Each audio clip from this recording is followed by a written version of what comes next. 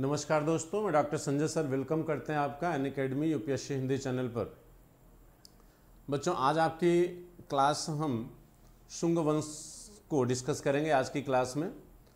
लेकिन आपको हम कुछ चीज़ें बता दें, जैसे शुंग वंश आपके मौर्योत्तर काल से जुड़ा हुआ वंश है बच्चों। ये जो मौर्योत्तर काल का फ़ेज़ है, मौर्योत्तर काल का जो ड्यूरेशन है, यहाँ पर कला और संस्कृति, यानी सामाजिक क्षेत्र और आपका जो सांस्कृतिक क्षेत्र है और कला, इन तीन सेक्टर से ज़्यादा क्वेश्चन पुटअप किए जाते हैं। तो आज की क्लास में हम शुंग वंश का जो ऐतिहासिक यानी जो राजनीतिक तथ्य है, यानी राजनीतिक घटनाक्रम है, उस पर हम मुख्य रूप से फोकस करेंगे।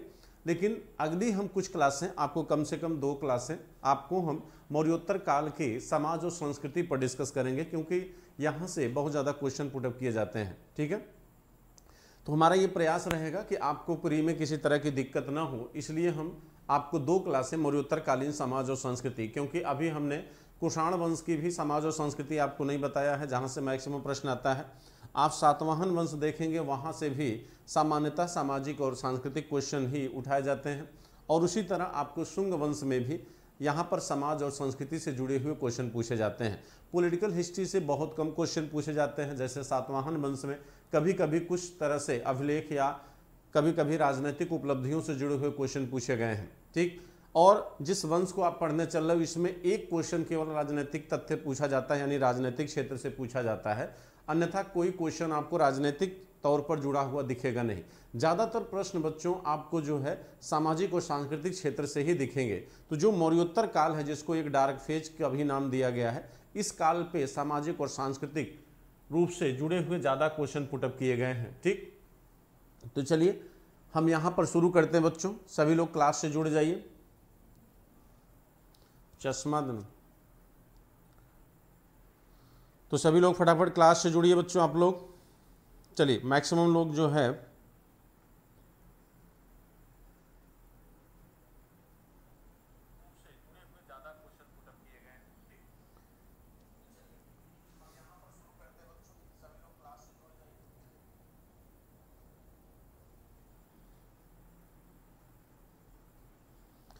चलिए देखिए।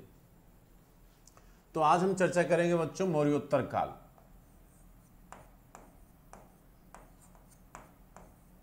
मौर्योत्तर काल।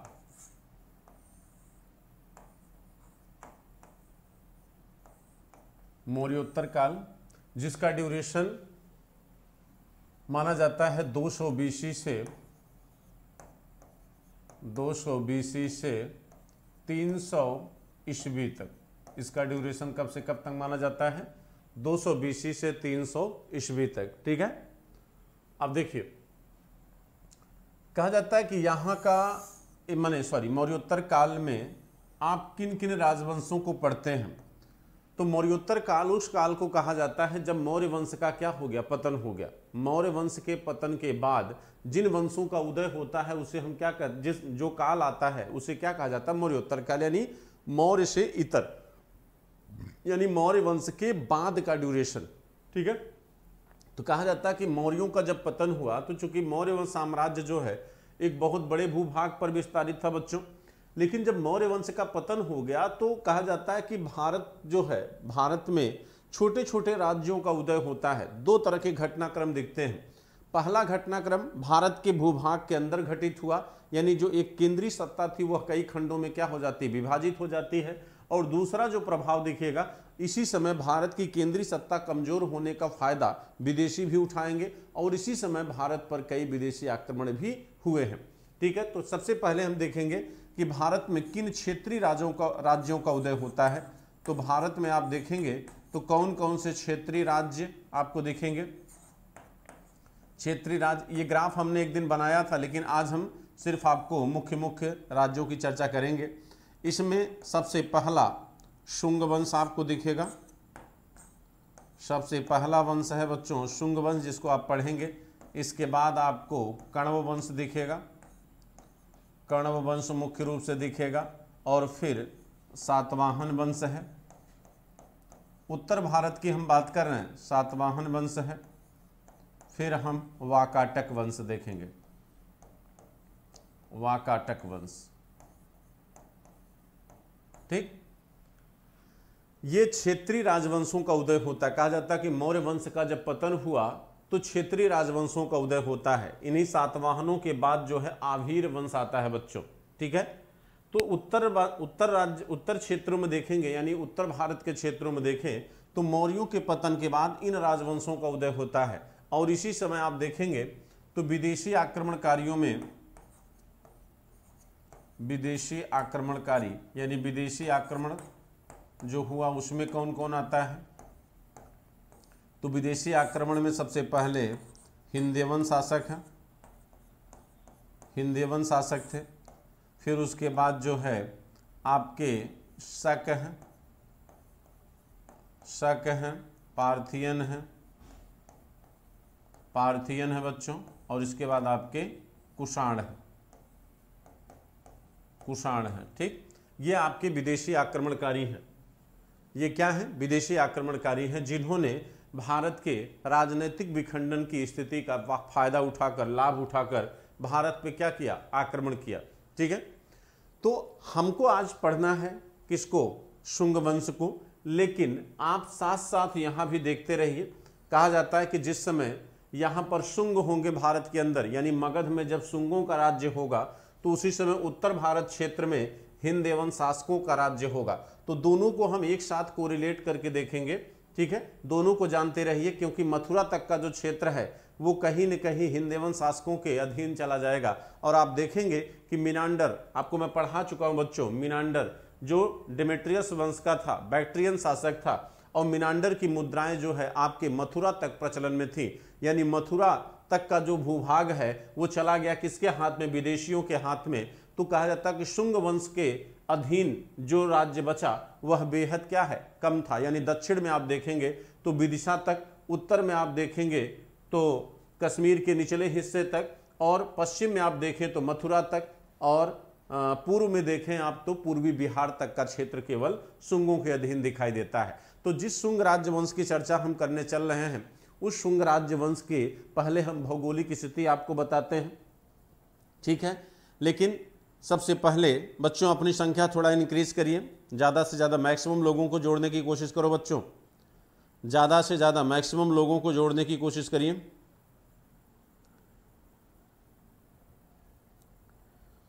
और सबसे जितने भी आप लोग, जितने भी बच्चे जुड़े हुए हैं, आप लोगों से मेरा विनम्र निवेदन है कि अगर आप एक सीरियस कैंडिडेट हैं। अगर आप यूपीएससी या स्टेट कमीशन एग्ज़ाम के लिए सीरियस हैं बच्चों तो आप या तो ध्यान से सुना करिए या किसी तथ्यात्मक चीज़ों पर आप डिस्कस किया करिए, ठीक है? क्योंकि आप जितने भी हो, मेरा ये मानना है कि सभी सीरियस कैंडिडेट हो और लगातार आप लोग लाइव रहते हैं क्लास में तो इसका मतलब मैं यही मानकर चलता हूँ कि जितनी मेहनत हम करते हैं, उससे कम से कम दो गुना मेहनत की उम्मीद मैं आपसे करता हूँ, ठीक है? ये ये मेरा एक्सपेक्टेशन होता आपसे, क्योंकि आप में अभी एक बहुत जुनून है, एक ऐसा पोटेंशियल एक ऐसी एनर्जी है कि जिसका अगर पॉजिटिव आप लोग यूज़ करें तो बहुत आगे जा सकते हैं। यानी अपने किसी भी लक्ष्य को आप कवर कर सकते हो बच्चों, ठीक है? तो थोड़ा सा आप इस ड्यूरेशन में, ये जो आपकी एज लिमिट होती है, इसमें थोड़ा सा आपको थोड़ा केयर रहने की ज़रूरत होती है। और मुझे उम्मीद है आप सभी सीरियस कैंडिडेट हैं। तो पढ़ाई का आनंद लीजिए बच्चों, मैं यही आपसे निवेदन करूँगा। ठीक है? चलिए, हम बात कर रहे थे शुंग वंश की। तो आज हम चर्चा करेंगे बच्चों किसके विषय में? शुंगों के विषय में, यानी शुंग राजवंश की चर्चा होगी आज की क्लास में। चलिए, बात करते हैं। शुंग वंश ठीक है? तो चलिए अब हम देखिए, कहा जाता है कि मौर्य वंश के पतन के बाद, मौर्य वंश का अंतिम राजा कौन था? बिहद्रथ। मौर्यों के पतन के बाद, शुंग वंश की सत्ता जिसने स्थापित किया, उसे पुष्यमित्र शुंग कहा जाता है। उसका नाम क्या है? पुष्यमित्र शुंग नाम है। ठीक है? कहा जाता बच्चों, इसका नाम पुष्यमित्र शुंग है। पुष्यमित्र शुंग एक अमात्य अधिकारी था, जिसने बिहद्रथ की हत्या करके इस वंश की क्या किया? न्यू डाला। और ये जाति का क्या है? ब्राह्मण है। माना जाता है कि जाति का क्या है? ब्राह्मण। शुंग जाति का क्या था? ब्राह्मण था। ठीक है? और कुछ इतिहासकारों का ऐसा मानना है कि पुष्यमित्र शुंग को इस राज्य की स्थापना करने में कहीं न कहीं ब्राह्मण जाति का समर्थन भी प्राप्त हुआ। और ऐसा इसने इसलिए क्या क्योंकि ब्राह्मणों की विचारधारा या ब्राह्मणों का समर्थन पुष्यमित्र शुंग ने क्यों लिया? इसलिए भी यह सही लगता है क्योंकि ब्राह्मण कहीं न कहीं मौर्य वंश में क्या था? उपेक्षित था। अगर आप देखिए तो मौर्य वंश में सम्राट अशोक ने ब्राह्मणों के विशेषाधिकार को क्या किया था? समाप्त कर दिया था। और ब्राह्मणों के न केवल विशेषाधिकार को उसने समाप्त किया, बल्कि दंड की समता और व्यवहार की समता के सिद्धांत को उसने लागू किया था। यानी सदियों से, यानी कई सौ वर्षों से चली आ रही परंपरा को उसने क्या किया था? बदल दिया था। अपने यहाँ तक कि पुरोहित के पद को समाप्त कर दिया था। तो कुछ इतिहासकारों का ये मानना है कि ये वर्ग जो है कहीं न कहीं मौर्य साम्राज्य में उपेक्षित रहा और जिसकी वजह से ये नाराज़ भी था और उस नाराज़गी का फ़ायदा उठाया किसने? पुष्यमित्र शुंग ने उसी तरह जैसे मोहम्मद बिन तुगलक से नाराज़ मुस्लिम समुदाय का लाभ उठाया था किसने? फिरोज शाह तुगलक ने। और कहीं न कहीं उसने भी तुष्टिकरण की नीति अपनाई थी। और यहाँ पर फिरोज शाह, यहाँ पर पुष्यमित्र शुंग ने भी तुष्टिकरण की नीति अपनाई। तुष्टिकरण की नीति का मतलब होता है कि जब आप किसी एक वर्ग विशेष को, एक वर्ग विशेष को खुश करते हैं, दूसरे के आधार पर, यानी किसी एक वर्ग विशेष को नाराज़ करके दूसरे को आप खुश करते हैं अपने व्यक्तिगत लाभ के लिए। बात समझ रहे नहीं? तो वहाँ यह ज़रूरी नहीं होता कि आपकी विचारधारा भी वैसी ही हो।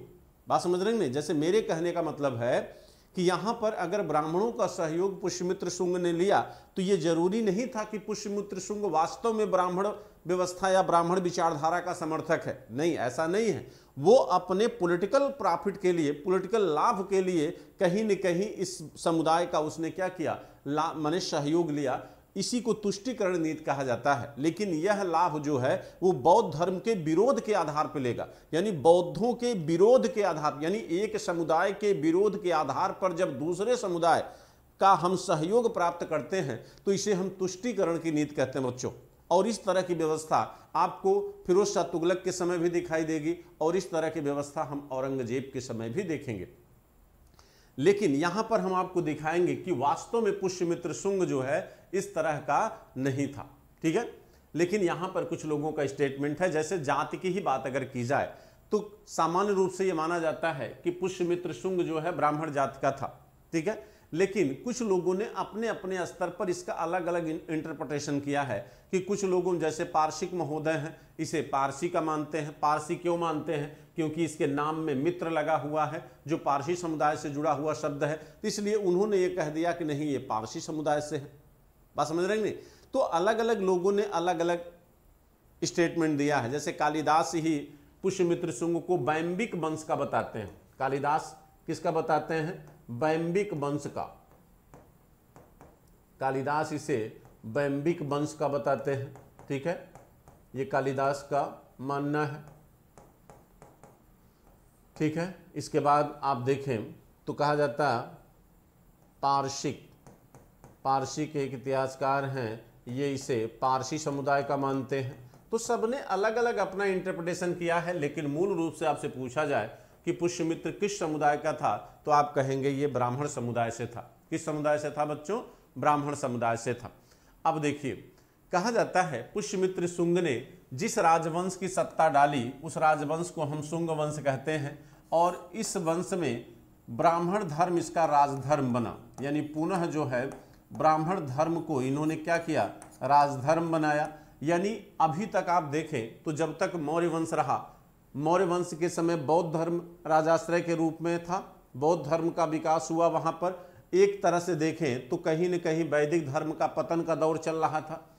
हर एक वंश से लेकर, यानी बिंबसार के समय से लेकर अशोक के समय तक अगर आप देखें तो कहीं न कहीं बौद्ध और जैन धर्म को ही विकसित होने का अवसर मिल रहा था। यानी जितने भी महाजनपद थे या जितने भी उस तत्कालीन समय में राज्य थे, सबने उस समय के विकसित होते हुए धर्म को मान्यता प्रदान किया या उनको सहारा दिया या विकसित होने का अवसर दिया।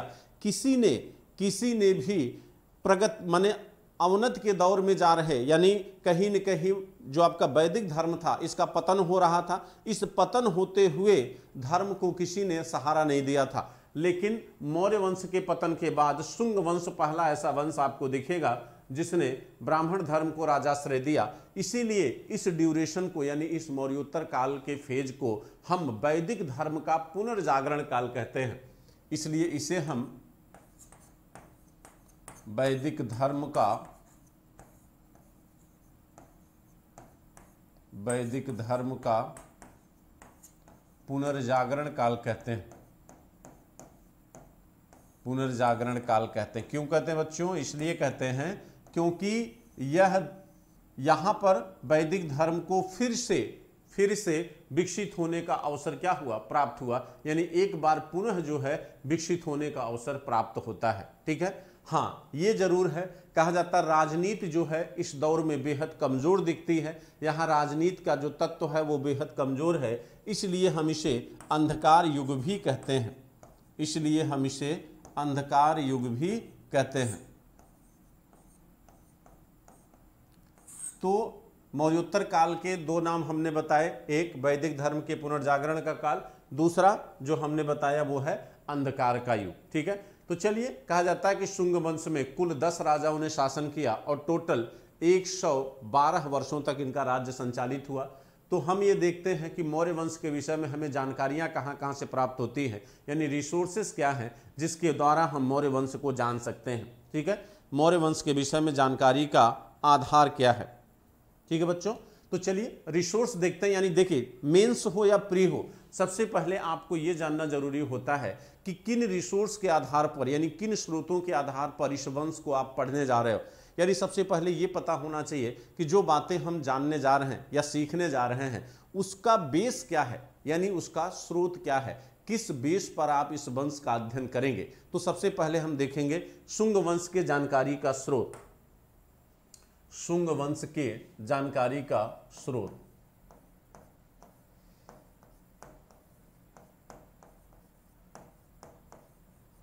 शुंग वंश के जानकारी का स्रोत। तो स्रोत कितने प्रकार के होते हैं? सोर्स ऑफ़ हिस्ट्री कितने टाइप की होती बच्चों? मूल रूप से दो प्रकार और अन्यथा कुल कितना? तीन प्रकार। ठीक है? पहला आर्कियोलॉजिकल रिसोर्सेस, दूसरा लिटरेचर यानी साहित्य, तीसरा विदेशी विवरण, यानी जो विदेशी यात्री भारत आए, उनके द्वारा जो जानकारी दी गई अपने साहित्य में, अपने लिटरेचर में, वो भी भारत के इतिहास को जानने का एक क्या है? माध्यम है, ठीक है? तो ओवरऑल अगर आपसे पूछा जाए कि स्रोत कितने प्रकार के होते हैं तो आप कहेंगे कितने? तीन। यानी पहला पुरातात्विक स्रोत आर्कियोलॉजिकल रिसोर्सेज पहला क्या है? पुरातात्विक स्रोत आर्कियोलॉजिकल रिसोर्सेज पुरातात्विक स्रोत। दूसरा क्या है? साहित्यिक स्रोत। साहित्यिक स्रोत। तीसरा क्या है? विदेशी विवरण। विदेशी विवरण। विदेशी विवरण मतलब होता बच्चों, जो विदेशी यात्री, जो विदेशी यात्री बाहर से आए, जैसे वेनसांग है मेगस्थनीज है, बहुत सारे विदेशी यात्री आए थे, ठीक है? और इन्होंने जो किताबें लिखी, चाहे वो इंडिका हो, चाहे सियुकी हो वेनसांग की इन किताबों के माध्यम से भी तो हिंदुस्तान के विषय में बहुत सारी बातें पता चलती हैं। तो ये साहित्य भी हमारी जानकारी के क्या है? एक माध्यम है, ठीक है? साहित्य, अब देखिए, लेकिन चूँकि यहाँ भी क्या है? साहित्य ही है। यहाँ भी क्या होता है? साहित्य है, यानी जो विदेशी यात्री भारत के ऊपर साहित्य का निर्माण किए हैं, वो साहित्य हमारी जानकारी के माध्यम है। और ये भी साहित्य है तो कहीं कहीं आप देखेंगे कि दो ही रिसोर्स आपको दिखेगा, यानी पुरातात्विक स्रोत और साहित्यिक स्रोत। क्यों दिखता है? इसलिए क्योंकि यह साहित्य इसमें क्या हो जाता है? इंक्लूड हो जाता है। तो कभी आप इस बात पर बहुत जिद मत करिएगा कि नहीं, स्रोत दो, तीन होते हैं या दो होते हैं। दो को भी और तीन को भी, दोनों को एक्सेप्ट करिए। हाँ दोनों का अंतर समझते रहिए कि दोनों में डिफरेंस क्या है। ठीक है? चलिए तो पुरातात्विक स्रोत में आपको मैं शुरू की क्लास में बता चुका हूँ कि कौन कौन से स्रोत इसमें आते हैं, ठीक? तो अब हम देखेंगे इसमें अभिलेख, स्क्रिप्ट कौन कौन सी है, जो हमें कहीं न कहीं सुंग वंश के विषय में जानकारी देती हैं, ठीक है? तो सबसे पहला सबसे पहला है धनदेह का अयोध्या अभिलेख। धनदेह का अयोध्या अभिलेख। धनदेह का अयोध्या अभिलेख। ये मोस्ट इंपॉर्टेंट स्क्रिप्ट है। इससे हमें एक जानकारी मिलती है, वो है अश्वमेध यज्ञ। और ये बहुत पूछा गया है। और ये धनदेह कौन है? ये अयोध्या का क्या है? प्रांतपति था बच्चों गवर्नर था उस समय, ठीक है? और दूसरा जो है, कहा जाता है कि दूसरा है आपका भरहूत अभिलेख।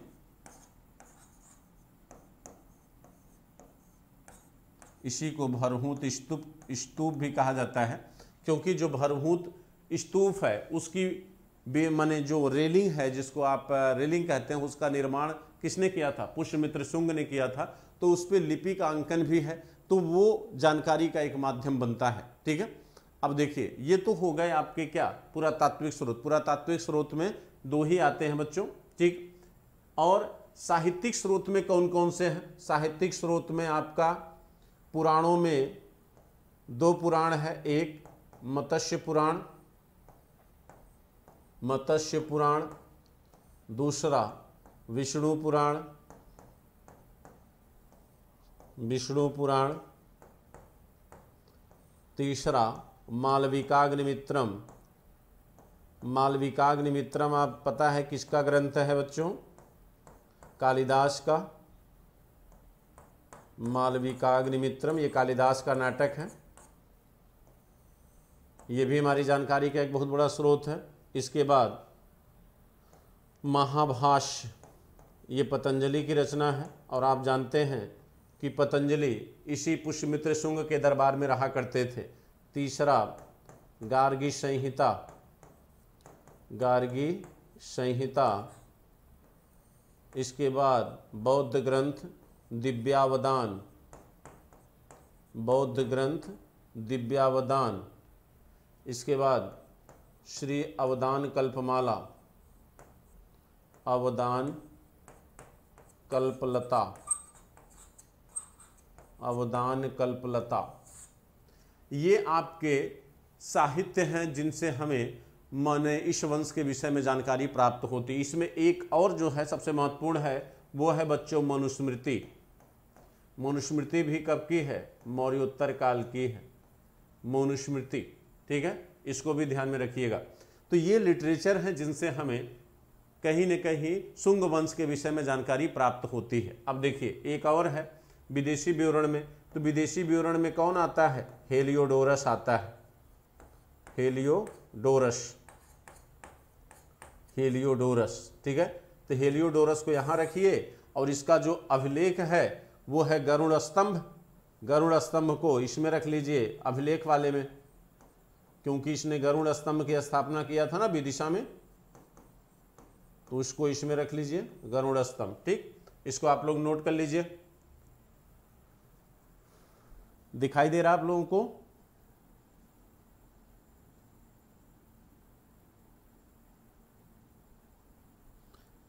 वेरी गुड बच्चों, आप अपनी संख्या को इंक्रीज करिए, बहुत अच्छी बात है बच्चों। आप इसको हंड्रेड के ऊपर कर सकते हैं। मेरी आवाज़ अगर बच्चों आप तक पहुँच रही हो तो आप थोड़ा सा अगर एफर्ट करें तो ये स्कोर हंड्रेड के ऊपर जा सकता है।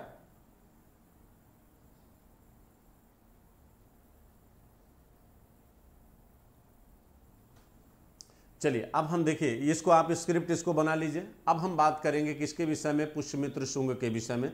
तो पुष्यमित्र शुंग की चर्चा करते हैं बच्चों हम।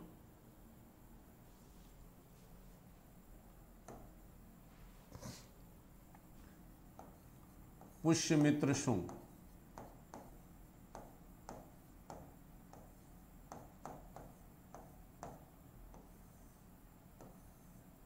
पुष्यमित्र शुंग अब देखिए कहा जाता है कि पुष्यमित्र शुंग के समय इसके राज्य की सीमा को जरा देखिए।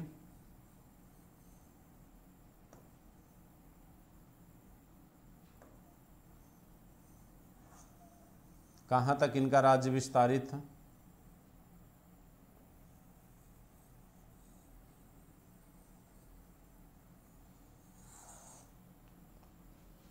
देखिए, इस समय ये जो उत्तर पश्चिम का क्षेत्र है, यहाँ पर हिंदेवन शासकों का आक्रमण हो चुका है। यहाँ बच्चों, हिंदेवन शासकों का आक्रमण होगा और हिंदेवन शासक का अभी हम उल्लेख करते हैं, कैसे पता चलता है कि हिंदेवन शासकों का आक्रमण इसके समय हुआ था? अब देखिए, ये मगध है। मगध में, ये मगध है बच्चों। ठीक? कहा जाता है कि शुंग वंश के समय इस मगध राजवंश में नहीं पुष्यमित्र शुंग की सत्ता यहाँ पर आई। यहाँ पर शुंग वंश स्थापित हुआ। यहाँ पर कौन सा वंश आया? शुंग वंश आया। ठीक? तो शुंग वंश में राजधानी कितनी थी? दो। कितनी राजधानी थी बच्चों? दो। ठीक है? और आप देखे थे, कनिष्क के समय भी दो राजधानियाँ थी। मौर्योत्तर काल में आप देखेंगे, दो राजधानियों का दौर चलेगा। तो एक राजधानी तो वही थी जो मौर्यों के समय थी, और वो है पाटिलपुत्र। दूसरी राजधानी है विदिशा। दूसरी राजधानी है विदिशा। ठीक है? अब देखिए, कहा जाता है कि यहाँ पर शासन में कौन है? पुष्यमित्र शुंग। जिस समय पुष्यमित्र शुंग यहाँ पर सत्ता में आया, पुष्यमित्र शुंग सत्ता में आया तो बच्चों, एक बात की जानकारी ध्यान रखिएगा। कहा जाता है कि पुष्यमित्र शुंग जब सत्ता में आया तो उस समय ये जो विदिशा है, विदिशा विदिशा मध्य प्रदेश में पड़ता है। ये एमपी में है विदिशा। विदिशा में गवर्नर बनाया था इसने किसको? अग्निमित्र को। अग्निमित्र जो है, विदिशा में क्या था? गवर्नर था। और ये जो उत्तर पश्चिम क्षेत्र है, ये वाला जो क्षेत्र है, यहाँ पर वसुमित्र, यहाँ पर वसुमित्र गवर्नर था। यहाँ पर बच्चों, वसुमित्र क्या है? गवर्नर है। और वसुमित्र जो है, अग्निमित्र का लड़का है। और क्रम में ये चौथे क्रम का राजा है। अगर आप देखेंगे तो सबसे पहले जो राजा बनता है, वो कौन है? पुष्यमित्र। ठीक है? पुष्यमित्र के बाद जो है, अग्निमित्र है। फिर आपके जो है, क्या है? वसुमित्र हैं। ठीक है? कहा जाता है कि ये इसका, देखिए, कहा जाता है कि यहाँ पर आप देखेंगे, तराई के क्षेत्र में ये अयोध्या है साकेत। यहाँ पर धनदेह धनदेह गवर्नर था, ठीक है? यहाँ पर धनदेह गवर्नर था अयोध्या में, यहाँ पर विदिशा में अग्निमित्र गवर्नर था, यहाँ पर वसुमित्र गवर्नर है, ठीक? यानी कहने का मतलब है कि कहीं न कहीं ये वाला जो क्षेत्र है, बच्चों देखिए, यानी इनका जो राज्य है वो कहाँ तक है? ये देखिए, ये इनकी सीमा है, ये इनकी क्या है? ये सीमा है ये इनके राज्य की सीमा है। ठीक है? ये यहाँ से ले लीजिए। पूर्वी बिहार तक का क्षेत्र है। और इसको ऐसे ले लीजिए। यही आपके शुंग वंश की सत्ता थी, लेकिन इसमें भी हस्तक्षेप होता रहा है। और एक समय ऐसा आएगा कि मथुरा तक का क्षेत्र जो है, बैक्ट्रियन शासकों के अधीन चला जाएगा। लेकिन जहाँ तक बात पुष्यमित्र शुंग के समय की है, पुष्यमित्र शुंग के समय यमन यहाँ पर क्या हो जाते हैं? पराजित हो जाते हैं। तो थोड़ी सी चर्चा हम पुष्यमित्र शुंग के विषय में कर लेते हैं। कहा जाता है, बच्चों, पहले हम पुष्यमित्र सुंग के समय की राजनीतिक चर्चा करेंगे, ठीक है? चश्मा देना। पहले हम पुष्यमित्र शुंग के समय की राजनीतिक कंडीशन देखते हैं कि इनके समय की राजनीतिक स्थिति क्या है, उसके बारे में थोड़ा देख लेते हैं। पानी।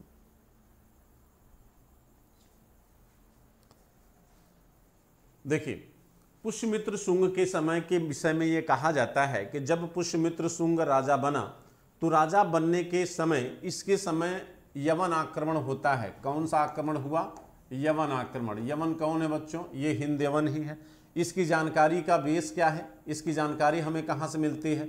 इसकी जानकारी हमें मिलती है गार्गी संहिता से। किससे मिलती है? गार्गी संहिता नामक ग्रंथ से मिलती है। इसकी जानकारी हमें पतंजलि के महाभाष्य से मिलती है।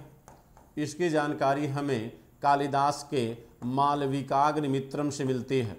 ये तीन ऐसे ग्रंथ हैं जो हमें इसके आक्रमण की जानकारी देते हैं।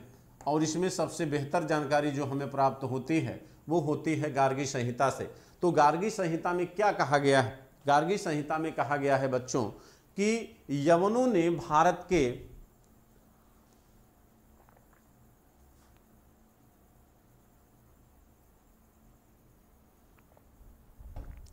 देखिए, जो गार्गी संहिता ग्रंथ है बच्चों, गार्गी संहिता में कहा गया है कि यमनों ने पुष्यमुत्र शुंग के राज्य पर आक्रमण किया और इन्होंने साकेत, पांचाल, मथुरा और कुसुम ध्वज नाम, देखिए, साकेत साकेत, पांचाल, मथुरा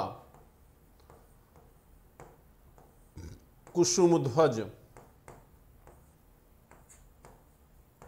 ये कुसुम ध्वज कौन है? कुसुम ध्वज मतलब है पाटलिपुत्र।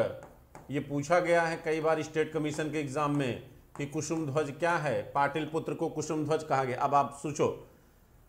ये देखो बच्चों, गार्गी संहिता में ये कहा गया कि यवनों ने साकेत, पांचाल, मथुरा कुसुम ध्वज तक के क्षेत्र को जीता। यानी ये रहा आपका पाटिलपुत्र। यानी कहीं न कहीं यवनों ने इनके राजधानी तक के भूभाग पर क्या कर लिया? अधिकार कर लिया। ठीक है? तो अब आप सोचिए कि यह बात कितनी सच है। दूसरी चीज़, पहली बात यह बात गार्गी संहिता में आती है। इसके बाद जो महाभाष्य है, महाभाष्य कहता है कि यवनों ने साकेत और माध्यमिका को जीता। यह महाभाष्य में क्या जानकारी मिलती है? साकेत और महाभा, साकेत और माध्यमिका। तो माध्यमिका मतलब होता है बच्चों, चित्तौड़। माध्यमिका जिसको वो कहता है, माध्यमिका मतलब है चित्तौड़। माध्यमिका मतलब है चित्तौड़। और आप जान ही रहे चित्तौड़ कहाँ पर है? चित्तौड़ आपके राजपुताना में है। तो इसका मतलब है, इसका मतलब हुआ, इसका मतलब हुआ बच्चों कि अगर अगर हम पतंजलि के महाभाष्य की माने तो पतंजलि के महाभास के अनुसार, यानी ये क्षेत्र ये क्षेत्र और ये क्षेत्र, साकेत माने अयोध्या, साकेत मतलब अयोध्या और राजपुताना माने ये क्षेत्र, यानी इनकी सीमा यहाँ तक है, ठीक है? इनकी सीमा यहाँ तक है। अब कालिदास ने भी कहा है कि यमनों ने आक्रमण किया था, यानी तीन ग्रंथों से हमें यमन आक्रमण का उल्लेख मिलता है, लेकिन इसमें यह भी कहा गया है, यह भी उल्लेख मिलता है कि कहा जाता है कि वसुमित्र, जो इनका गवर्नर है, ये उत्तर पश्चिम भूभाग का, कहा जाता है कि वसुमित्र ने यवनों को ये सिंध नदी के तट पर, सिंध नदी के तट पर वसुमित्र ने क्या किया? यवनों को पराजित कर दिया। यानी जब तक ये यहाँ का गवर्नर है, तब तक ये इसके अंदर नहीं घुस पाए हैं। तब तक ये इसके अंदर नहीं आ पाए हैं। बात समझ रहे नहीं? तो इसका मतलब है कि ये जो आक्रमण हुआ पुष्यमित्र शुंग के समय पुष्यमित्र शुंग के समय होने वाले यवन आक्रमण को वसुमित्र ने क्या किया? विफल कर दिया। तो प्रश्न ये खड़ा होता है कि इसका मतलब गार्गी संहिता में जो बात कही गई, वो गलत है? नहीं, गलत नहीं है। वो बात किसी अन्य राजा या इसके इस वसुमित्र के बाद या सॉरी पुष्यमित्र शुंग के बाद वह किया गया आक्रमण रहा होगा। पुष्यमित्र शुंग के समय कहीं न कहीं ये बात गलत है, क्योंकि उसके समय तक ये राज्य जो है शुंग राज्य के क्या थे? अधीन थे। और इसका प्रमाणीकरण यह है क्योंकि पुष्यमित्र वसुमित्र ने यमनों को सिंध नदी के तट पर क्या किया? पराजित किया। ठीक? तो जब यहाँ पर यमन पराजित हो गए तो ये एंट्री नहीं कर सकते। इसका मतलब हुआ कि अगर वो मथुरा तक के क्षेत्र या पाटलिपुत्र तक को जीते तो वो कहीं न कहीं पुष्यमित्र शुंग के बाद रहे होंगे। अब देखिए, कब रहे होंगे? कहा जाता है कि पुष्यमित्र शुंग और अग्निमित्र के बीच भी एक शासक आता है। पुष्यमित्र शुंग और अग्निमित्र के बीच भी एक शासक आता है, जिसका नाम है सुजेष्ट। जिसका नाम है बच्चों सुजेष्ट। ठीक? क्यों? क्योंकि ये जो वसुमित्र है, ये चौथे क्रम का राजा है। तो चौथे क्रम में ये तभी होगा जब नंबर एक इनको लिया जाए और नंबर दो इनको लिया जाए, नंबर तीन अग्निमित्र को लिया जाए और नंबर चार वसुमित्र को लिया जाए। तो ये जो राजा है, इनकी कोई राजनीतिक उपलब्धि दिखाई नहीं देती। बस नाम मात्र का उल्लेख आपको किताबों में दिखेगा तो संभावना यह है कि इनके समय हो सकता है कहीं न कहीं आक्रमण हुआ हो, ठीक है? तो ये राजनीतिक चीज़ है और ऐसी कोई भी राजनीतिक उपलब्धि पुष्यमित्र शुंग की नहीं है, जिसके बारे में आप कह सकें कि नहीं, ये एक योग्य शासक की पहचान है, ठीक? दूसरी जो बात की जाती है, कहा जाता है कि जो धनदेह गवर्नर है, कहाँ का? आपके अयोध्या का गवर्नर है धनदेह धनदेह का अभिलेख है, जिसे कहा जाता है अयोध्या अभिलेख धनदेह के अयोध्या अभिलेख में। यहाँ पर इस अभिलेख में ये उल्लेख मिलता है कि पुष्यमित्र शुंग ने क्या किया था? दो अश्वमेध यज्ञ किया था। तो इस यज्ञ से ये पता चलता है कि ये ब्राह्मण धर्मावलंबी है, क्योंकि यज्ञ का संपादन, बच्चों, ये मूल रूप से ब्राह्मण धर्म की परंपरा में काउंट किया जाता है या ब्राह्मण धर्म की परंपरा माना जाता है। ठीक है? तो यह जो यज्ञ हुआ है, उस यज्ञ में ये कहा गया है कि यहाँ पर पुष्यमित्र शुंग ने अपने पुरोहित अपने पुरोहित माने कौन था पुरोहित? तो पतंजलि पुरोहित थे। कौन इनके पुरोहित थे? पतंजलि पुरोहित थे। वो पतंजलि पुरोहित के ही पद पे थे बच्चों। और पतंजलि कहाँ के थे? गोकर्ण के थे। पतंजलि कहाँ के थे बच्चों? गोकर्ण के थे। ये ध्यान रखा, ये आया है। असिस्टेंट प्रोफेसर एग्ज़ाम में ये प्रश्न पूछा गया है कि पतंजलि मूल रूप से कहाँ थे? अभी असिस्टेंट प्रोफेसर हायर एजुकेशन में एग्ज़ाम हुआ था। तो वहाँ पर एंशेंट हिस्ट्री के सेक्शन में ये क्वेश्चन पूछा गया था कि पतंजलि कहाँ के रहने वाले थे? तो गोकर्ण के रहने वाले थे। और पतंजलि पुरोहित थे किसके? महामने सॉरी किसके? पुष्यमित्र शुंग के। ठीक है? तो पुष्यमित्र शुंग के समय पतंजलि ने ही पुरोहित के पद पर रहते हुए दो अश्वमेध यज्ञों का संपादन किया, जिसकी जानकारी हमें अयोध्या अभिलेख से प्राप्त होती है, जो इनके गवर्नर धनदेह का था। ठीक है? कहा जाता है कि जो पुष्यमित्र शुंग है। वह न केवल पुरोहित है बल्कि इनका गुरु भी था। बल्कि इनका गुरु भी था। कहा जाता है, पतंजलि को शेषनाग का अवतार माना गया है। इन्होंने एक बड़े ही महान ग्रंथ की रचना किया था, जिसका नाम है महाभाष्य। और महाभाष्य, ये बच्चों, क्या है? ये मूल रूप से एक व्याकरण ग्रंथ है, जो किसके ऊपर लिखा गया है? जो पाणनी के अष्टाध्यायी नामक ग्रंथ पर लिखा गया है। तो पाणनी की जो अष्टाध्यायी है, वो भी एक व्याकरण ग्रंथ है, और पतंजलि का जो महाभाष्य है, वह भी एक व्याकरण ग्रंथ है, जो उसी के बेस पर क्या किया गया है? लिखा गया है। ठीक है? तो ये तो हमने बात कर लिया कि इनकी राजनैतिक उपलब्धियाँ क्या थी, किसकी? पुष्यमित्र शुंग की। अब जरा हम बात करते हैं इनके धार्मिक विचारधारा की, ठीक है? इनके धार्मिक विचारधारा की। हाँ एक बात और बता दें। कहा जाता है एक सौ चौरासी ईस्वी में, एक सौ चौरासी ईस्वी में इनके समय विदर्भ विदर्भ का युद्ध हुआ था। विदर्भ आप जान ही रहे कहाँ है? विदर्भ आपका पड़ेगा बच्चों गुजरात में। हाँ शायद गुजरात में ही पड़ेगा विदर्भ थोड़ा सा डाउट हो रहा है, लेकिन गुजरात में ही है। ठीक है? कहा जाता है, एक सौ चौरासी ईस्वी में विदर्भ पे इसने आक्रमण किया था। ठीक? और विदर्भ उसे विदर्भ का युद्ध कहते हैं। उसे क्या कहते हैं? विदर्भ का युद्ध कहते हैं। यहाँ पर इन्होंने यज्ञसेन नामक एक राजा था, जिसको इन्होंने पराजित किया। ये नहीं पराजित किए थे बेसिकली उस युद्ध में इनका जो सेनापति था, जिसका नाम था बीरसेन। बीरसेन नामक सेनापति था। उसी ने यहाँ पर इनको पराजित कर दिया था। इस एक सौ चौरासी में हुए युद्ध को हम क्या कहते हैं? विदर्भ का युद्ध कहते हैं। इसे क्या कहते हैं? विदर्भ का युद्ध कहते हैं। यहाँ पर राजा कौन था? यज्ञसेन था। यहाँ पर राजा राजा यज्ञसेन था, जिसे इनका सेनापति वीरसेन पराजित कर देता है। तो राजनीतिक उपलब्धियों के तौर पर सिर्फ़ यही एक दो उपलब्धियाँ इनकी दिखाई देती हैं। अब जरा हम बात करते हैं इनको, इनके धार्मिक विचारधारा की जो इम्पोर्टेंट है बच्चों। इनके धार्मिक विचारधारा की चर्चा हम करते हैं, जो इम्पोर्टेंट है, ठीक है? चलिए देखिए, पहले हमने आपसे कहा था, बच्चों क्लास में कोई दिक्कत तो नहीं है ना? आप लोगों को हमने कहा कि कम से कम हंड्रेड के ऊपर करिए, पंकज जी।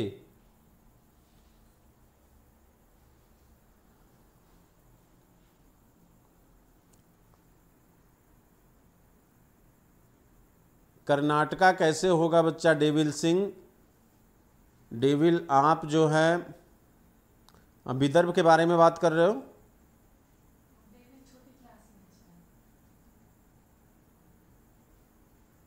आ, हाँ, मैं समझ नहीं पाया। चलो ठीक है कोई बात नहीं। ठीक है चलो आप लोग आपस में ही बात करो। ठीक ठीक पढ़ते रहो। चलिए तो देखिए अब हम बात करेंगे पुष्यमित्र सुंग की धार्मिक विचारधारा की। कहा जाता है बच्चों पुष्यमित्र सुंग ब्राह्मण समुदाय से थे ब्राह्मण जाति के थे और कहीं न कहीं ब्राह्मणों का यानी ब्राह्मणों की विचारधारा का समर्थन लेकर इन्होंने बिहद्रत की हत्या करके मौर्य साम्राज्य की क्या किया? न्यू डाला। तो समस्या यहाँ पर थी, कुछ लोगों का ये कहना है कि ये ब्राह्मण धर्म के क्या थे? सॉरी, बौद्ध धर्म के क्या थे? विरोधी थे। बौद्ध धर्म के क्या थे? विरोधी थे। जैसे दिव्यावदान एक ग्रंथ है।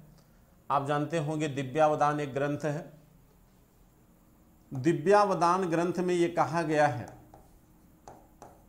दिव्यावदान ग्रंथ में ये कहा गया है इस ग्रंथ में एक स्टेटमेंट आता है जिसमें यह कहा गया, बच्चों, कहा जाता है कि जब पुष्यमित्र शुंग ने लोगों से अशोक की प्रसिद्धि के बारे में पूछा कि आखिर अशोक इतना फ़ेमस कैसे था, अशोक इतना फ़ेमस कैसे था तो लोगों ने कहा कि उसने बहुत सारे स्तूपों का निर्माण कराया, इसकी वजह से वो फ़ेमस था। तो कहा जाता है कि इसने क्रोध में उन चौरासी हज़ार स्तूपों को क्या किया? नष्ट कर दिया। कहा जाता है कि अशोक द्वारा निर्मित जो चौरासी हज़ार स्तूप थे स्तूप थे, उन स्तूपों को क्या करता है? नष्ट कर देता है। और आप जान ही रहे, स्तूप क्या है? स्तूप जो है, बौद्ध धर्म के क्या है? प्रतीक हैं बच्चों। स्तूप क्या है? ये बौद्ध धर्म के प्रतीक हैं। बौद्ध धर्म के क्या हैं? प्रतीक हैं स्तूप। ये स्तूप क्या है? बौद्ध धर्म के प्रतीक हैं। चौरासी हज़ार स्तूपों का क्या करता है? नुकसान करता है। लेकिन अगर हम ये मान लें, चलिए अभी और बात कर लेते हैं।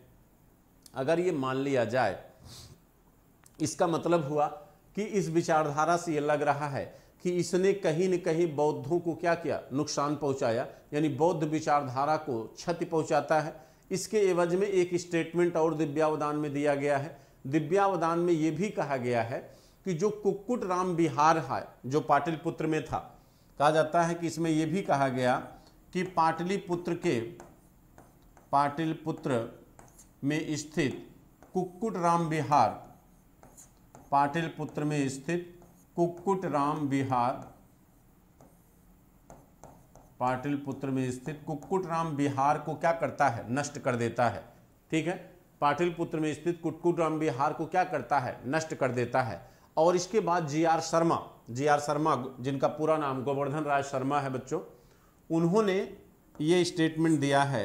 जी आर शर्मा का कहना है, और आप समझ लीजिए ये जी आर शर्मा बहुत ही फ़ेमस इतिहासकार रहे खास तौर से प्राचीन इतिहास के क्षेत्र में, आपके इलाहाबाद यूनिवर्सिटी में एंशियन डिपार्टमेंट की स्थापना इन्होंने ही किया था, और अपने समय इन्होंने प्रधानमंत्री जवाहरलाल नेहरू, इंदिरा गांधी, लाल बहादुर जैसे प्रधानमंत्रियों को इस विभाग में आमंत्रित भी किया था। ठीक है? तो एक बहुत बड़े इतिहासकार थे और इन्होंने आपके मार्टनर व्हीलर साहब के साथ, जान मार्शल साहब के साथ भी इन्होंने काम किया था। तो एक बहुत बड़े पर्सनालिटी थे जी आर शर्मा, बहुत बड़े विद्वान थे। इन्होंने ये कहा, इन्होंने कहा कि पुष्यमित्र शुंग जो है, क्या करता है? कौशाम्बी के घोषताराम बिहार को क्या करता है? आग लगा देता है। का इनका ये कहना है कि जो कौशाम्बी में घोषताराम बिहार है, कौशाम्बी के घोषताराम बिहार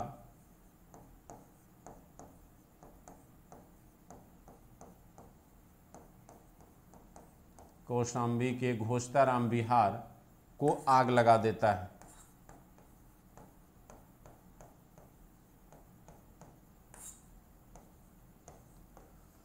तो इन स्टेटमेंटों से देखिए, हमने तीन स्टेटमेंट आपके सामने रखा, जिससे कहीं न कहीं इसकी विचारधारा का पता लगता है, ठीक?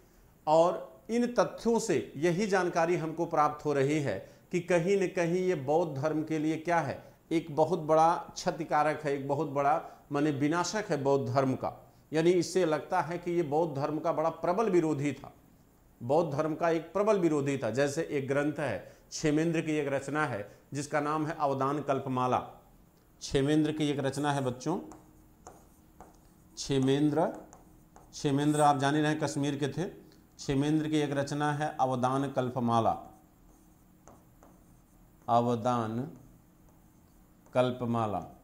इस ग्रंथ में इन्हें बौद्धों का संहारक कहा गया है।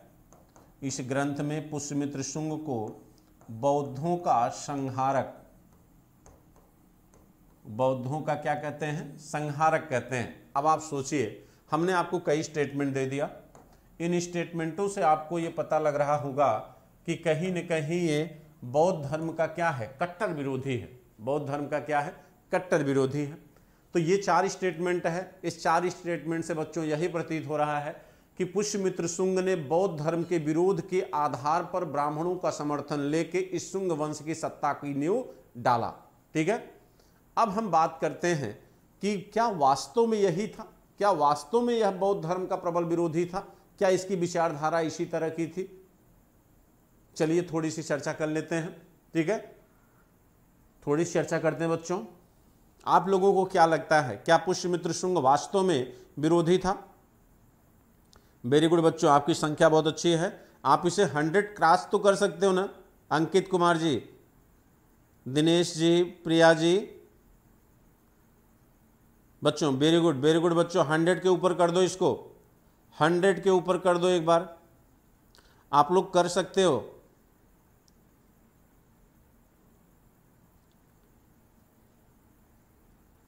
कर सकते हो बेटा आप लोग। चलिए, आप देखिए, मैंने कहा कि इन तथ्यों से, इन स्टेटमेंट से यह लगता है कि यह बौद्ध धर्म का क्या था? विरोधी था। लेकिन अब हम कुछ आप बातें आपको बताने चल रहे हैं जिससे यह लगेगा कि नहीं, इस तरह से नहीं था। ये रेडिकल थॉट जो है, नहीं रहा होगा उसका। अब देखिए, अब हम बात करते हैं। कहा जाता है कि जहाँ तक बात जो है, बौद्धों की है तो बौद्धों के विषय में दिव्यावदान में एक स्टेटमेंट और आता है, जिसमें यह कहा गया था कि पुष्यमित्र सुंग ने अपने राज्य में एक इसने घोषणा किया था। उस घोषणा में इसने कहा था कि अगर कोई व्यक्ति जो है किसी बौद्ध भिक्षु का सर काट कर लाता है तो हम उसे सौ दिनार दिनार थी, मुद्रा थी, स्वर्ण मुद्रा थी, उसे हम सौ दिनार उपहार देंगे। अब भाई, इस विचारधारा से तो यह लगता है कि यह बहुत कट्टर विरोधी था, कि भाई, बौद्ध भिक्षुओं के सर काटने पर अगर इनाम का वितरण कर रहा है तो इसका मतलब ये कट्टर विरोधी रहा होगा। ऐसा नहीं था बच्चों तो बात क्या थी? तो फिर ऐसा स्टेटमेंट उसने क्यों दिया? सच्चाई इसमें यह थी, आप जानते हैं यवन आक्रमण हुआ इसके राज्य में। यवन आक्रमण हुआ। बहुत ध्यान समझना, बहुत कॉन्सेप्चुअल बात बता रहा हूँ बच्चों। बहुत ही कॉन्सेप्चुअल बात बताने जा रहा हूँ। कहा जाता है, यवन आक्रमण पुष्यमित्र सुंग के समय हुआ।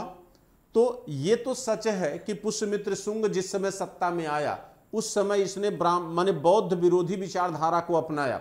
और वह बौद्ध विरोधी विचारधारा परिस्थितियों के वश इसने किया था। यानी जो मैंने उस समय की जो पॉलिटिकल कंडीशन थी, उसका लाभ उठाने के लिए इसने दिखावे के रूप में अपने को बौद्ध विरोधी दिखाया और ब्राह्मणों का समर्थन इसने हासिल किया उस विरोध के आधार पर। ठीक है? अगर सच में यह विरोधी होता, अगर सच में विरोधी होता बच्चों तो आप सोचिए कि क्या वह इस तरह के कृत्य करता जैसा मैं बताने जा रहा हूँ। कहा जाता है कि वह जो स्टेटमेंट दिया कि हम कम से कम सौ दिनार उसे देंगे, जो बौद्ध भिक्षुओं के सर काट के लाएगा तो उसने ऐसा इसलिए कहा था, ऐसा उसने इसलिए कहा था, क्योंकि उसका यह मानना है कि कुछ जो बौद्ध भिक्षु थे, जो इसके विरोधी हो चुके थे, वो जाकर इन यवनों से क्या थे? मिल चुके थे। यानी इन यवनों से बौद्ध भिक्षु क्या थे? मिले हुए थे। तो जो बौद्ध भिक्षु राज्य के रूप में विरोधी हो चुके थे, उनको कहीं न कहीं हर सभ्यता हर समाज और हर संस्कृति में देशद्रोह के नाम पर सबसे बड़ा दंड दिया जाता है। तो यहाँ पर अगर पुष्यमित्र सुंग इस तरह का स्टेटमेंट देता है तो राज्य के विरोध में जाने वाले को या राष्ट्र के विरोध में जाने वाले को वर्तमान में भी एक कठोर दंड का प्रावधान है और उस समय भी उसने एक कठोर दंड के प्रावधान का, मैंने कठोर दंड का प्रावधान किया तो यहाँ पर हम उसे गलत नहीं ठहरा सकते।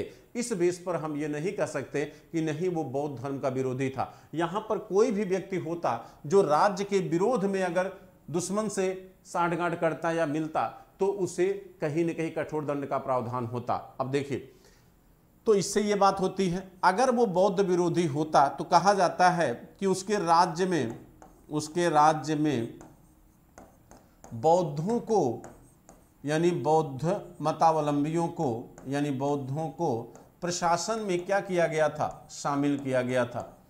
प्रशासन में शामिल किया गया था। उसने अपने प्रशासनिक वर्ग में बौद्धों को क्या किया था? शामिल किया था। अब आप सोचिए कि अगर वो मूलतः, अगर वो वास्तव में बच्चों, बौद्ध विरोधी होता तो क्या वह बौद्धों को अपने प्रशासन में शामिल करता? कभी न करता। ठीक है? दूसरी बात, अगर वह वास्तव में चौरासी हज़ार स्तूपों को नष्ट किया होता, चौरासी हज़ार स्तूपों को अगर वह तोड़ा होता तो सांची स्तूप और भरभूत स्तूप की रेलिंग का निर्माण वो न करता। बात समझ रहे नहीं? कहा जाता कि भरभूत स्तूप और सांची स्तूप की रेलिंग का जो निर्माण है, वो पुष्यमित्र सुंग के द्वारा किया गया है। भरहूत एवं सांची की रेलिंग का निर्माण किसने किया है? पुष्यमित्र शुंग ने किया। अब आप सोचिए कि अगर वो बौद्ध विरोधी होता तो क्या इस तरह का प्रावधान उसके समय दिखाई देता? या यह इस तरह का निर्माण वो अपने समय करता? कभी न करता बच्चों। ठीक है? तो इससे ये लगता है कि नहीं कहीं न कहीं जो है, हमारा जो इंटरप्रटेशन है इसकी धार्मिक विचारधारा को लेकर, वो क्या है? गलत है। वो बौद्ध विरोधी नहीं था, बल्कि राजनीतिक लाभ के लिए उसने बौद्धों के विरोध में कुछ ऐसे प्रावधान किए होंगे या अपनी विचारधारा को इस तरह से उसने दिखाने की कोशिश किया होगा, जिससे ब्राह्मण उसके पक्ष में या समर्थन में आके क्या हो जाए? खड़ा हो जाए। ठीक है? इसीलिए उसने ऐसा किया था। अब देखिए, कहा जाता है कि पुष्यमित्र शुंग के बाद एक अव्यवस्था जैसी कंडीशन इसके राज्य में दिखाई देती है। उसमें, उस समय राजा कौन बना? यज्ञेष्ठ राजा बना था, जिसकी चर्चा हमने अभी आपके सामने किया। उसके बाद अग्निमित्र राजा बनता है। इसके बाद देखिए, कहा जाता है कि पुष्यमित्र शुंग के बाद जो लोग भी राजा बने, उसमें कोई बहुत ज़्यादा योगदान नहीं रहा है। लेकिन अग्निमित्र के विषय में आपको थोड़ा बता दूँ मैं। अग्निमित्र कहीं कहीं ये भी कहा जाता है कि पुष्यमित्र शुंग के आठ बेटे थे, जिसमें उसने अपने साम्राज्य को क्या किया था? बांट दिया था। तो अग्निमित्र जो है, एक योग्य शासक था। इसकी दो पत्नियाँ थी, धारणी और इरावती। इसकी दो पत्नियाँ थी, धारणी और इरावती। धारणी और इरावती, ये दो पत्नियाँ थी इसकी। कहा जाता है इसी के ऊपर कालिदास ने एक नाटक लिखा है। कालिदास ने एक नाटक लिखा है मालविकाग्नि मित्रम मालविकाग्नि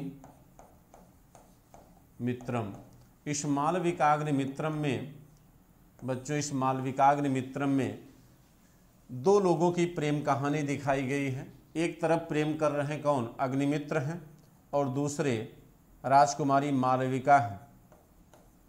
अग्निमित्र एवं राजकुमारी मालविका मालविका के विषय में यहाँ पर दिखाने की कोशिश किया है, यानी दोनों की प्रेम कहानी दर्शाई गई है। इसका मतलब तीसरी पत्नी कौन थी? मालविका थी। इससे विवाह भी किया था इन्होंने, ठीक है? तो तीसरी पत्नी इनकी मालविका होती है, ठीक? इसके बाद अग्निमित्र का कोई राजनीतिक योगदान नहीं है। अग्निमित्र के बाद राजा बनते हैं कौन? वसुमित्र। अग्निमित्र के बाद राजा बनते हैं कौन? वसुमित्र। तो वसुमित्र के बारे में कहा जाता है कि यवनों को इसी ने क्या किया था? हराया था। यवनों को यवनों को पराजित किया। यवनों को बच्चों, इसने क्या किया था? पराजित किया था। लेकिन कहा जाता है कि यह बेहद बिलासी प्रवृत्ति का हो गया। यह हमेशा नशे में रहने लगा।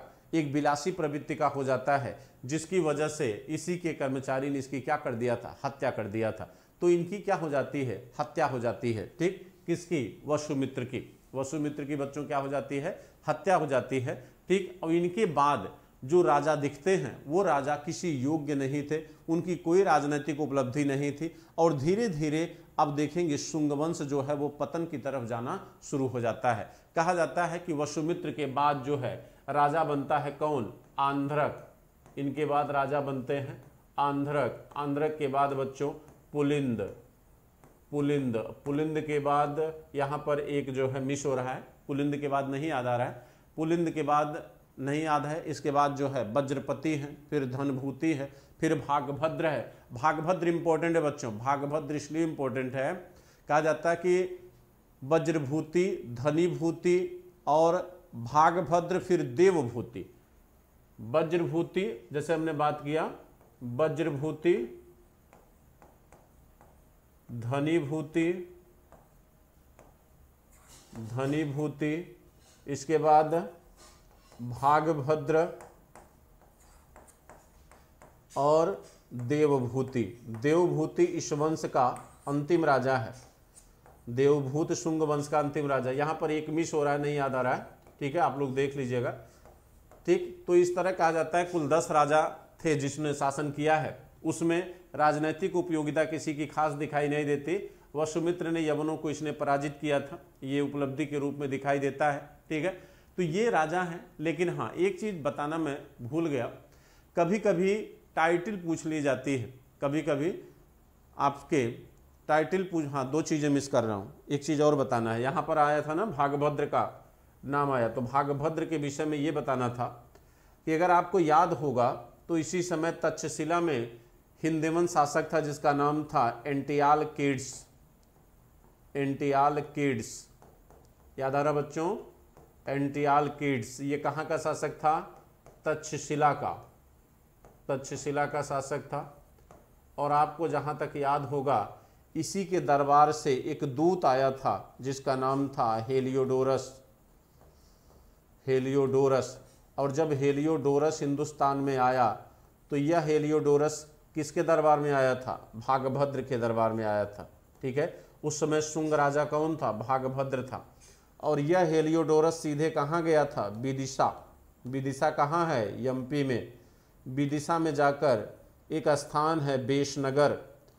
बेशनगर में इसने एक अभिलेख अंकित किया, जिसे कहा जाता है गरुड़ स्तंभ। जिसे क्या कहते हो आप? गरुड़ स्तंभ कहते हैं। और यह गरुड़ स्तंभ जो है, कहा जाता है कि भागवत धर्म का पहला अभिलेखी प्रमाण है। ये गरुड़ स्तंभ जो है बच्चों, भागवत धर्म का पहला अभिलेखीय प्रमाण है, ये मोस्ट इंपॉर्टेंट है, जो कहाँ पर है? विदिशा के बेशनगर में। किसके द्वारा स्थापित हुआ था? हेलियोडोरस के द्वारा। हेलियोडोरस किसके दरबार में आया था? भागभद्र के दरबार में आया। कहाँ से आया था? एंटियाल कीट्स के दरबार से आया था, जो कहाँ का राजा था? तक्षशिला का राजा था। ठीक है? तो ये तो रही शुंग वंश की राजनीतिक उपलब्धि। हाँ मैं बात कर रहा था किसकी? एक चीज़ और बताना था आपको। हाँ उपाध टाइटिल टाइटिल की चर्चा मैं कर रहा था कि पुष्यमित्र शुंग की कुछ उपाधियाँ हैं जो अक्सर पूछ ली जाती है, ठीक है? देखिए उपाधि तो ये उपाधियाँ किसकी हैं? पुष्यमित्र शुंग की हैं बच्चों। पुष्यमित्र शुंग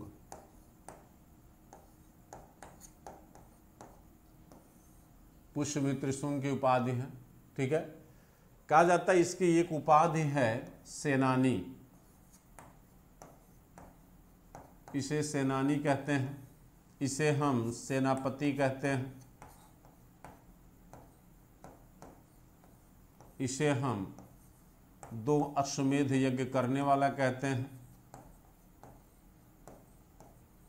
अश्वमेध यज्ञ करता इसको संस्कृत में इसका कुछ और नाम है। मुझे एग्जैक्टली exactly यहाँ पर सेट हिट नहीं कर रहा है। उसका कुछ और संस्कृत में नाम है, ठीक? नहीं, दिमाग में आ रहा है। अगला है, उद्भज्य। उद्भज्य मतलब होता है जो बहुत जल्दी विकास करे, ठीक है? और एक नाम है इसका, संकर्षण। संकर्षण।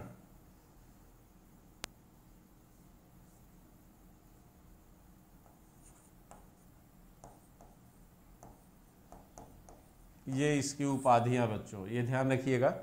पूछ सकता है कभी, ठीक है? तो कहा जाता है कि उद्भज उद्भज का मतलब होता है अचानक उठने वाला। अचानक उठने वाला।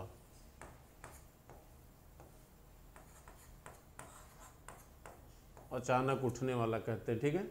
सेनानी, सेनापति, दो अश्वमेध यज्ञ करता उद्भज और संकर्षण, ये टाइटल है किसके? पुष्यमित्र शुंग के, ठीक है? तो इस तरह बच्चों, आज देखिए, आपको हम बता दें, फिर से एक बार हम रिपीट कर दे रहे हैं, ठीक? और आपके लिए सबसे बड़ा जो, ये मोबाइल चार्जर तो आज एक बार हम आपको बता दें फिर से कि मैं आपके लिए बच्चों, अभी हमने कहा कि दो क्लास जैसे आज की क्लास में हमने पॉलिटिकल हिस्ट्री पॉलिटिकल हिस्ट्री हमने डिस्कस किया। आज की क्लास में बच्चों पॉलिटिकल हिस्ट्री डिस्कस किया हमने। और यहाँ से जो सबसे इम्पोर्टेंट क्वेश्चन पूछा जाता है, सबसे इम्पोर्टेंट प्रश्न आता है बच्चों, आपके सबसे इम्पोर्टेंट प्रश्न आता है समाज और संस्कृति से। तो समाज और संस्कृति, ये दो शिक्षण बेहद इम्पोर्टेंट होते हैं मौर्योत्तर काल के। तो कम से कम आपको दो क्लास हम जो है यहाँ पर मौर्योत्तर काल की समाज और संस्कृति से लेंगे। और ये बहुत ही इम्पोर्टेंट सेक्शन है, इसको किसी भी तरह मिस मत करिएगा।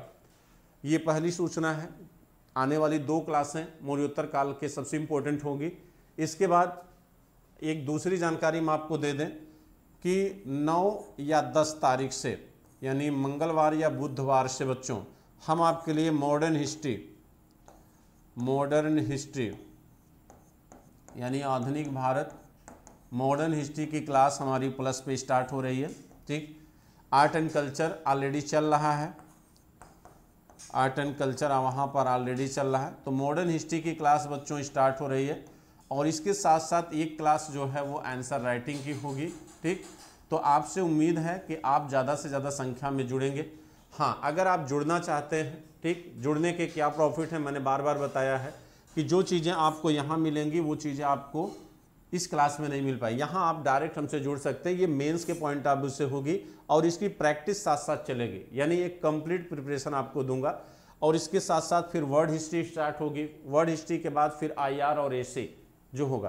तो यहाँ पर बच्चों, अगर आप सब्सक्रिप्शन लेते हैं, यहाँ पर अगर आप सब्सक्रिप्शन लेते हैं तो सबसे बड़ा फ़ायदा आपको ये मिलेगा कि अगर आप हमारे referral code S K Y S K Y live, ये हमारा रेफरल कोड है और अगर हमारे रेफरल कोड के थ्रू बच्चों आप लोग जुड़ते हैं तो आपको 10 परसेंट की छूट मिलेगी, ठीक है? और जो चैनल है, जो सर्च करना आपको, वो है Unacademy Unacademy UPSC CSC S C ठीक है? इस चैनल को आप सर्च करिए प्लस चैनल है, ठीक है? यहाँ पर हमारे नाम को आप लोग सर्च कर लीजिए। और सब्सक्रिप्शन लेने के लिए आप जो है हमारे कोड का अगर उपयोग करते हैं तो 10 परसेंट की आपको छूट दी जाएगी, ठीक है? ये बच्चों, आप लोग ले लीजिए इसको जो है और जल्द से जल्द आप जुड़ने की कोशिश करिए। 9 तारीख या 10 तारीख से कल हम एकदम एग्जैक्ट बता देंगे किस तारीख को स्टार्ट हो रहा है। तो सारा सिगमेंट हमने बना लिया है, ठीक? और ये मेंस के पॉइंट ऑफ़ व्यू से होगी, ठीक है?